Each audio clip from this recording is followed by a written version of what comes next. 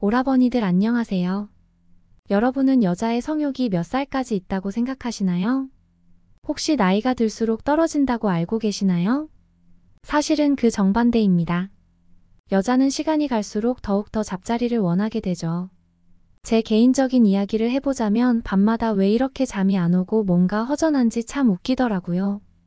제 주변 언니들을 봐도 결혼한 사람이나 안 한 사람이나 그렇게 몸이 달아오른다고 해요. 이게 왜 그러냐고요? 나이가 들수록 여자의 몸에서 나오는 남성 호르몬 때문에 원하지 않더라도 성욕이 계속 솟구쳐 오르는 법이랍니다. 하지만 웃기게도 아무리 그래도 여자들이 남자 손목을 이끌고 모텔을 가는 것을 본 적은 없죠? 여자도 하고 싶다고 당당하게 말하면 얼마나 좋겠어요. 저도 진짜로 그러고 싶어요. 하지만 생각해보세요. 여자가 만나자마자 시도 때도 없이 들이대고 음담패설을 하면 남자도 마냥 좋지만은 않을 것입니다. 그래서 여자들은 남자들에게 최대한 신호를 보내는데요. 지난번 영상에는 여자가 모텔을 가고 싶으면 화장이라든지 향수 등을 이용한다고 말했었어요. 하지만 이번에는 조금 더 확실하게 여자가 신체 부위를 포함해서 어떻게 직접적인 신호를 보내는지 알려드릴게요. 뒤로 갈수록 그 욕구가 강해져서 나타나는 신호들이니 절대 놓치지 마세요. 첫 번째 목덜미. 여자들이 관심 있는 남자에게 제일 많이 보여주는 곳이 바로 자신의 목덜미입니다. 왜 하필 자신의 목을 보여주는 것이 그 신호가 될까요? 그 이유는 여자가 계산한 행동은 아니지만 무의식적으로 매력을 느끼는 남자에게 나오는 행동입니다. 여자는 잠자리 하고 싶은 남자를 보면 심장 박동수가 올라갑니다. 그것도 평소보다 아주 많이요. 그래서 안 그래도 더운 머리를 어떻게 하고 싶다는 생각이 들어 머리를 묶는 행위를 자신도 모르게 하는 거죠. 그 과정에서 목덜미를 보여줄 수도 있고 머리를 묶지 않더라도 여자가 자기 머리카락을 가지고 놀거나 손바닥 위에 올려두고 만지작거리는데요. 이런 이유 역시 은연중에 상대방을 만지고 싶다는 신호라고 볼 수 있어요. 제 개인적인 경험이기는 하지만 그렇다고 아예 지어낸 이야기는 전혀 아니에요. 몸짓의 심리학이라는 책에는 여성이 본인의 성적 매력을 부각시키기 위해 하는 행동들에 대한 설명이 있는데요. 여성이 술을 마실 때 잔을 만지작거린다거나 혀로 입술을 축이고 스스로 몸을 만지는 등의 행위가 바로 은연중에 남성을 만지고 싶다는 심리가 있다고 해요. 또 목에는 경동맥, 경정맥이 있는데 여자는 마음에 드는 이성에게 무의식적으로 자신의 연약한 부위를 노출시키려는 경향이 있어요. 이건 포유류의 습성 중 하나인데 가장 연약한 부위를 상대에게 드러내 보임으로써 이런 속마음을 내비친다고 해요. 나는 당신의 사람이 될 마음이 있다는 속뜻이요. 딱 정리해 드릴게요. 진짜 찌는 더위가 아니고서는 여자가 자신의 머리를 만지작거리면서 목덜미를 내비치는 경우는 그 강도가 차이가 있을 수는 있지만 분명히 여러분을 마음에 들어 한다는 거예요. 인간도 결국 동물이라 무의식적으로 보내는 습성을 절대 무시하지 마세요. 여자가 목덜미를 보여주는 것은 오늘 내가 당신의 사람이 돼도 좋다는 뜻이에요. 두 번째 따라하기. 따라하기는 여자가 대표적으로 남자가 마음에 들었을 때 보내는 신호라고 할 수 있어요. 이건 미러링 효과라고 하는데 미러링 효과는 자신이 좋아하는 상대방의 말투나 표정 행동을 마치 거울에 비친 자신의 모습처럼 똑같이 따라하는 무의식적인 행위를 말해요. 이걸 본 상대방은 나와 같은 행동을 하고 있는 모습을 보면서 친근함을 느끼기도 해요. 예를 들어 내가 좋아하는 오빠가 팔짱을 끼고 있으면 여자도 같이 팔짱을 끼면서 따라하게 되는 거죠. 물론 나도 따라해야겠다고 생각한 건 아닐 수 있어요. 왜 여자는 좋아하는 사람의 모습을 따라할까요? 우리가 움직일 때 뇌의 특정 부위가 활성화되는데 상대를 유심히 쳐다보다 보면 그 행동을 마치 내가 하는 것처럼 해당 뇌 부위가 활성화되는데요. 따라서 상대의 행동을 모방하게 된다고 해요.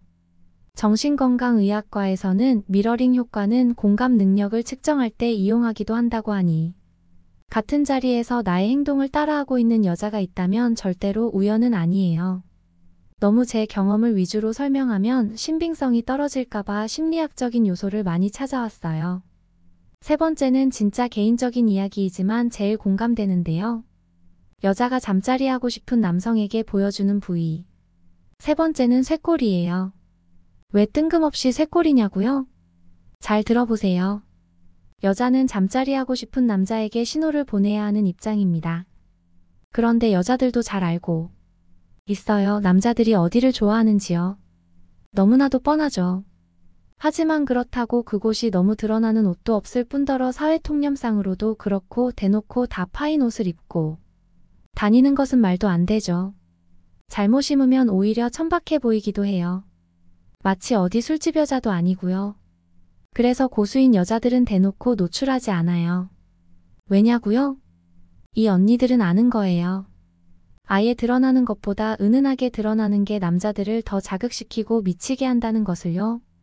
그럴 때 제일 많이 입는 옷이 가슴 쪽이 너무 파이지 않고 쇄골이 드러나는 원피스나 상의예요. 그곳을 보여주는 게 남성을 더 자극시킨다는 것을 알거든요. 왜냐하면 남자들은 아예 다 보이는 것보다 이런 걸 좋아하죠. 보일랑 말랑 하는 거요. 그래서 몸매가 다 보이는 옷보다는 몸매가 드러나는 잘록한 원피스를 남자들이 더 좋아해요. 그러니 여러분, 여자가 쇄골이 드러나는 옷을 입고 나와 은은한 매력을 뿜어낸다면 그건 분명한 신호예요. 특히 몸매가 정말 최고인 여자가 아니고서는 뭔가 부끄럽다거나 민망할 수 있거든요. 그런데도 쇄골이 드러나는 옷을 입고 나왔다. 그건 정말 여러분을 위해 큰 용기를 냈다고 밖에 할 수 없어요. 그러니 당부드릴게요. 절대로 절대로 오늘 밤 그 여자를 그냥 보내지 마세요. 오늘 알려드린 걸 정리해 볼게요. 여자가 잠자리를 하고 싶은 상대에게 보내는 신호. 첫 번째는 자신의 목덜미를 드러낸다. 이건 아무리 못해도 최소한 상대방을 믿고 안심한다는 뜻이에요. 둘째 따라한다. 좋아하는 상대방을 따라하면서 이목을 끄는 거예요. 오빠, 나 한 번만 봐줘. 이렇게도 볼 수 있고요. 마지막은 쇄골. 남자를 제대로 자극하고 꼬시고 싶다면 보여주는 게 쇄골이니 절대로 잊지 마세요. 형들의 시간을 낭비하지 않고 바로 다음 콘텐츠로 넘어가겠습니다. 파트너가 무슨 생각을 하는지 알고 계신가요? 여자가 무슨 생각을 하고 있는지 알지 못합니다. 그럼 과연 여자들은 본 게임을 하는 동안 어떤 속마음을 갖고 있을까요? 오늘의 영상을 남자분들이 끝까지 집중해서 보신다면 여자의 마음을 이해해서 더욱 사랑받는 남자가 될 것입니다. 1. 두 종류의 다른 목적을 가지고 있습니다. 여자는 확연히 다른 두 종류의 목적. 하나의 경우는 물질적인 혜택을 받기 위해서 마음보다는 철저히 이해타산적으로 행동하는 것입니다. 그 남자에게 명품 가방이나 금전적 혜택을 받기 위해서입니다. 여자는 스스로 몸과 마음이 움직이는 경우입니다. 2. 본 게임이 끝난 후 더욱 몰입하게 됩니다. 그 남자에게 대한 믿음이 커지게 됩니다. 본 게임에서의 만족도와는 상관이 없이 그 자체만으로 이 남자에게 몰입하게 되는 것입니다. 그래서 급속하게 사랑에 빠지게 됩니다. 남자에 대한 몰입도가 본 게임 전보다 후에 훨씬 높아지며 애정 또한 깊어집니다. 남자의 태도가 변하거나 연락이 두절되는 원나잇에 대해 많은 두려움을 갖는 것도 이런 이유 때문입니다. 3. 마음이 열려야 몸이 열립니다. 여자는 그 남자에 대한 안정과 신뢰가 생겨야 할 수 있는 것입니다. 신체적으로 남성에 비해 약하고 임신에 대한 두려움이 있기 때문에 남자에 대한 믿음이 있어야 가능한 것입니다. 더욱 젠들하고 매너 있게 다가가 보세요. 4. 여자의 약 60%는가 없는데 하기도 합니다.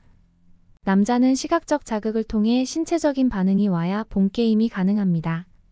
그러나 여자는 이러한 신체적인 반응이 없어도 본게임을 하는 경우가 있습니다. 남자가 원한다면 배려하는 차원에서 하는 경우도 많습니다. 만약 거부한다면 사랑하는 남자가 실망할까봐 노력하는 것입니다. 남자만을 위해서 하는 것인지 생각해 봐야 합니다. 5. 여자의 약 50%는 잠. 자. 리에 만족해 하지 않습니다. 남자를 사랑하지만 시 신체적으로는 만족하지 못하는 경우입니다. 원래 그런 것은 특별한 여자만 경험하는 것이라고 생각합니다. 남자가 있다면 여자는 평생 잊지 못한다고 합니다. 6. 외모와 성격이 본 게임에서는 반대로 작용합니다. 섹시한 옷을 즐겨 입고 외향적인 성격을 가진 여자들. 반대로 수수한 옷차림에 소심한 성격을 가진 여자들. 얌전한 고양이 부뚜막에 먼저 올라간다는 말이 있듯이 외적으로 너무나 수수한 느낌의 여자. 나처밤이라는 말을 들어보셨나요? 남자들이 바라는 이상적인 여성상이기도 합니다. 외모와 성격만 보고 판단하지 말아야 합니다. 7. 본 게임을 하면서도 자신의 모습에 신경을 씁니다. 외적인 부분에도 신경을 많이 씁니다. 여자들은 여행이나 수영장을 가도 그곳의 분위기를 즐기기보다는 자신의 얼굴과 의상을 더욱 중요하게 생각하는 것과 같습니다. 그리고 수백 장의 사진을 찍고 그 중에서 한 장 혹은 두 장의 사진만을 선택합니다. 이렇게 외모에 신경을 쓰다 보니 남자들은 이해하기 어려운 여자의 특성이죠. 8. 섹시남을 보면 여자도 몸에서 반응한다. 남자만 시각적인 자극에 의해 몸에서 바로 반응을 한다고 생각합니다. 그러나 여자도 이러한 시각적 자극을 받으면 몸에서 반응을 하죠. 남자들처럼 표면적으로 나타나지는 않지만 여자들만이 알 수 있는 느낌이 있습니다. 남자들은 이해할 수 없지만 여자들은 제 말을 이해하실 겁니다. 9. 청결에 대해 무척 예민합니다. 본 게임을 하기 전부터 남자의 청결에 대해 무척 예민합니다. 그 전에 청결하지 않는 부분이 조금이라도 발견된다면 여자는 본 게임 자체를 하지 않을 수도 있습니다. 남자들은 몸에서 나는 냄새나 손톱의 청결 상태, 코털 정리 등을 신경 써야 합니다. 매일 샤워하고 머리 감는 기본적인 청결이 중요합니다. 중년 남자에게 흔히 호레비 냄새가 난다는 말을 들어보셨을 겁니다. 이러한 냄새를 풍긴다면 여자들은 그 남자를 멀리할 것입니다. 여자들은 본게임을 하기 전에 그 남자와의 본게임을 상상하기 때문에 남자의 청결하지 않은 한 부분으로 인해 모든 것을 망칠 수도 있습니다. 남자가 평소에도 깔끔한 이미지를 갖고 있지 않다면 10. 스트레스로 인해가 사라집니다. 남자의 경우에는 스트레스를 받으면 술을 마시거나 본게임을 하면서 스트레스를 해소하는 경향이 있습니다. 그러나 여자의 경우는 스트레스를 받으면 오히려 하고 싶지 않아집니다. 마음이 편안하고 행복을 느낄 때 하기를 원합니다. 돈 문제가 있거나 남자에 대한 불만, 직장에서의 문제들로 인한 스트레스가 있다면 11. 관계 후의 감정을 중요하게 생각합니다. 여자는 그렇지 않기 때문에 본 게임 후의 남자의 행동이 중요합니다. 끝나자마자 핸드폰을 만지거나 담배를 피는 행동. 본 게임이 끝나고 잠시 포옹과 함께 칭찬을 하거나 애정어린 대화를 나눠보세요. 12. 바디에 대해 칭찬해 주기를 기대합니다. 여자는 부끄럽기 때문에 절대로 자신의 바디에 대해 먼저 얘기를 꺼내지 않습니다. 남자가 예쁘다고 칭찬해 주기를 기대합니다. 남자는 여자의 신체적 장점에 대해서 칭찬을 할 줄 알아야 합니다. 특히 중년 남자들은 너무나 과묵한 경우가 있습니다. 여자와 본 게임을 하기 전에는 그렇게 감언이설을 늘어놓지만 막상 본 게임을 하는 과정과 끝난 후에는 칭찬에 인색한 경우가 많습니다. 칭찬은 고래도 춤추게 한다. 당신을 최고의 남자로 인식을 할 것입니다. 13. 을 연기한다. 여자는 남자를 실망시키지 않기 위해서. 그러나 많은 남자들은 이것을 알아차리지 못합니다. 오래된 연인 중에 연애 초기에 본게임 할 때와 지금의 모습을 비교해서 많은 차이가 있었다면 그 여자는 남자를 위해 연기를 했던 것일 수 있습니다. 간혹 남녀가 헤어질 때 여자가 난 한 번도 느끼지 못했어 라고 말하는 경우도 있으니까요.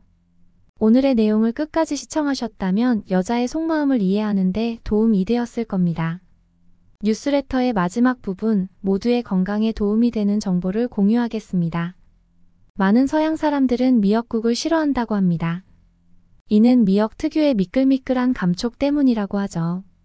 하지만 우리나라 사람들에게 미역국은 빼놓을 수 없는 필수 음식입니다. 특히 출산 후 산모들이나 생일날 아침에는 반드시 미역국을 챙겨 먹곤 하죠.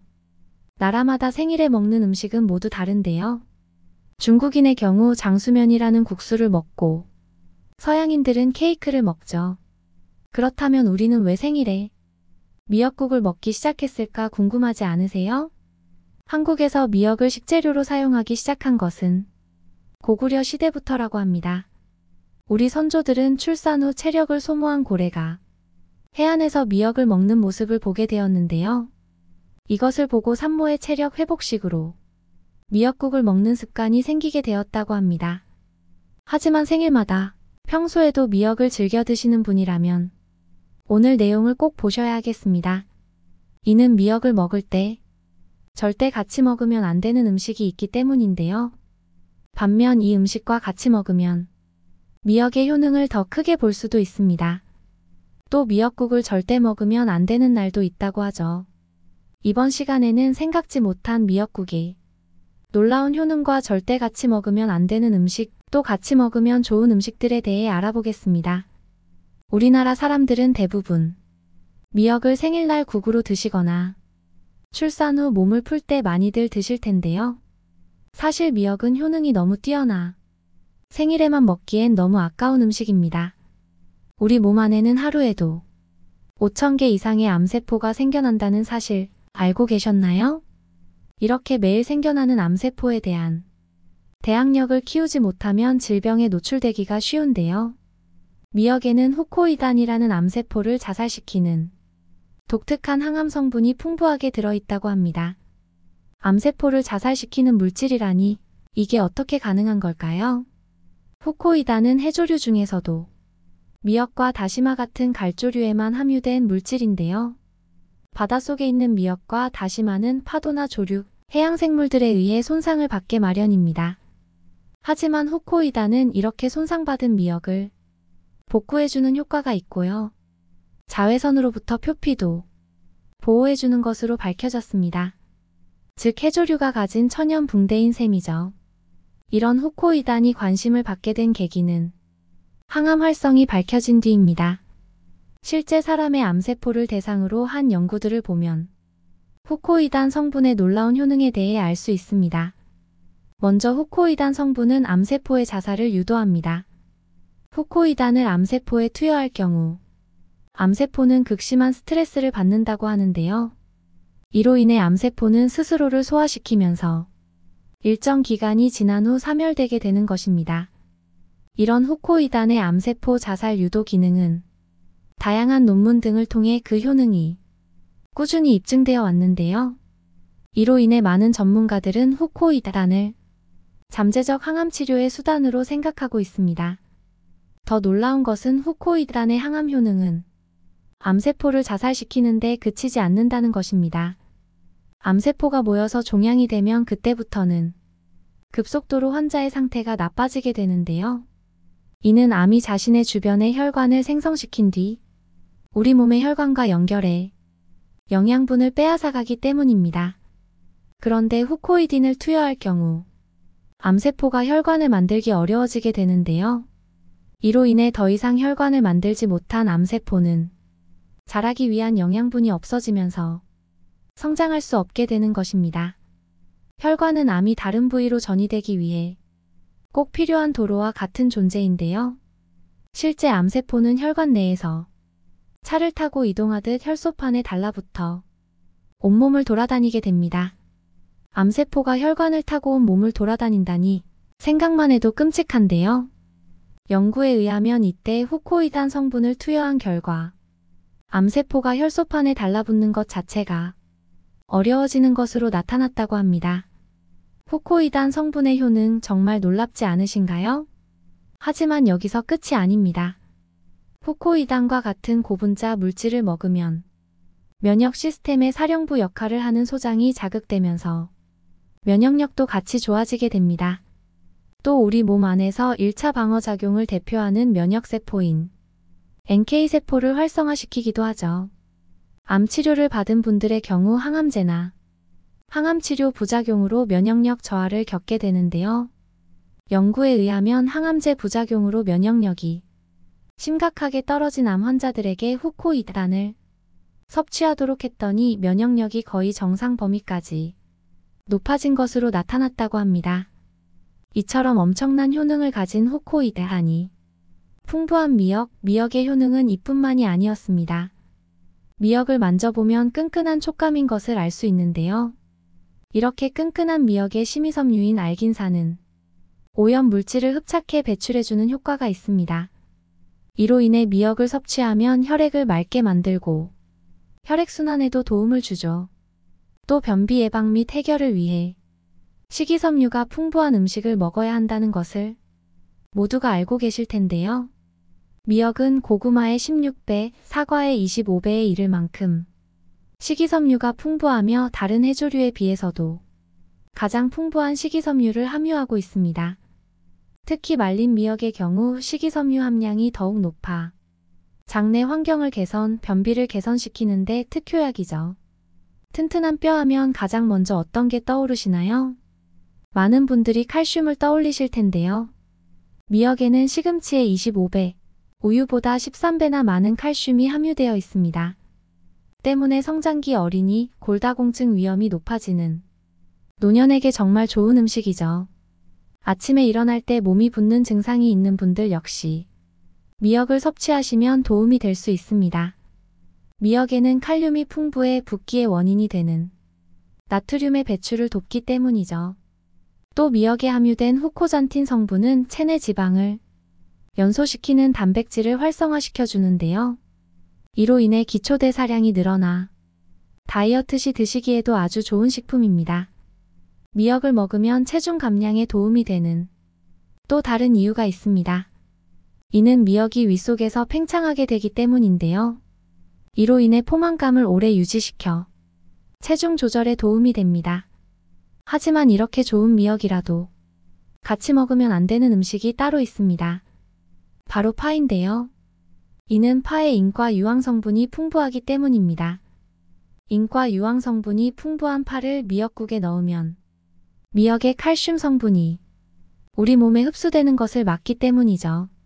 또 파는 미역의 고유한 맛을 줄이기 때문에 영양뿐 아니라 맛에서도 상극인 음식이라고 할 수 있습니다.